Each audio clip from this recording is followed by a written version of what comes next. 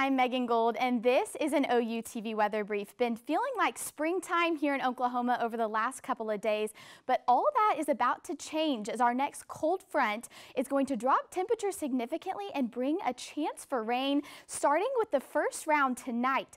Tulsa, Miami, and Muskogee, you will see showers and isolated thunderstorms this evening. Norman, only about a 20% chance of rain, so it's not out of the realm of possibility to see some localized rainfall. But the big story is this system that's set to move through Thursday overnight and Friday morning, pretty much the whole state will be seeing that rain, making for a very wet Friday morning commute. So if you're headed out to work or school, be sure to take this into consideration. But before this cold front moves through, get outside tonight and tomorrow. We have a very nice evening ahead.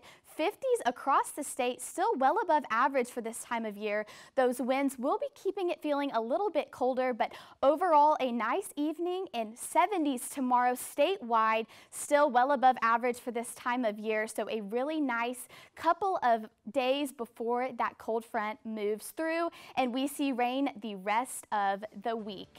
This has been an OU TV weather brief. I'm Megan Gold. Be sure to watch OU Nightly tonight at 9.30 and live weekdays at 4.30. Good night.